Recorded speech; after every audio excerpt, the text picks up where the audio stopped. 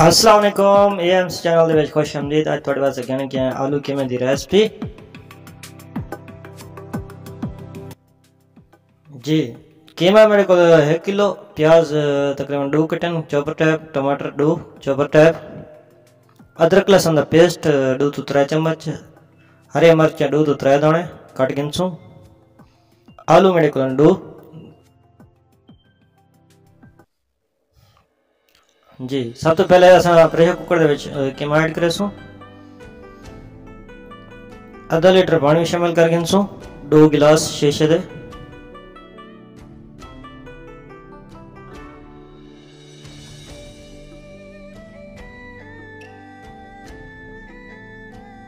जी, अदरक, लहसुन पेस्ट, एक चम्मच फ़िलहाल शामिल करेसू सादा नमक एक चम्मच शामिल कर गिनसू प्रेशर कुकर का ढक्कन बंद कर देसू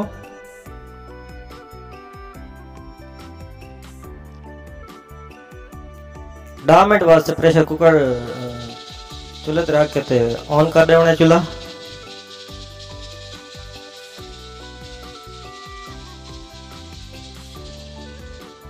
जी दह मिनट बाद चेक करो कीमा साढ़े बिल्कुल गल चुके कड़े साढ़े बिल्कुल रेडी है मीडियम साइज़ दी कीमा जड़ा कड़ी दे शामिल कर गया सो? तो बाद प्याज शामिल करे सो। आलू शामिल कर गए सो, टमाटर शामिल कर गए सो। हरी मिर्चा भी शामिल कर गए सो। अदरक, लहसुन पेस्ट बकाए वो भी शामिल कर गए सो। सादा नमक एक चम्मच शामिल करे सो। हल्दी एक चम्मच शामिल करे सो। लाल मिर्च एक चम्मच शामिल कर गए सो। अच्छे तरीके मिक्स कर लेंगे सो।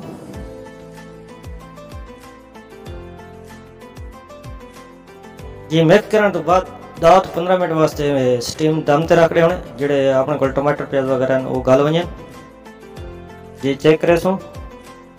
माशाल्लाह।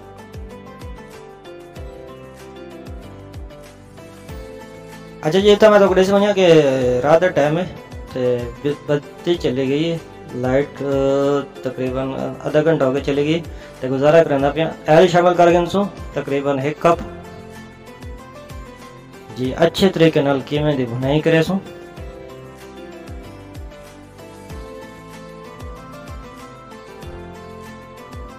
जी, किवें दी बुनाई बिल्कुल रेडी तैयार है। किवें आलू कीमा बिल्कुल रेसिपी बिल्कुल ओके ते रिपोर्ट है तैयार है। जी।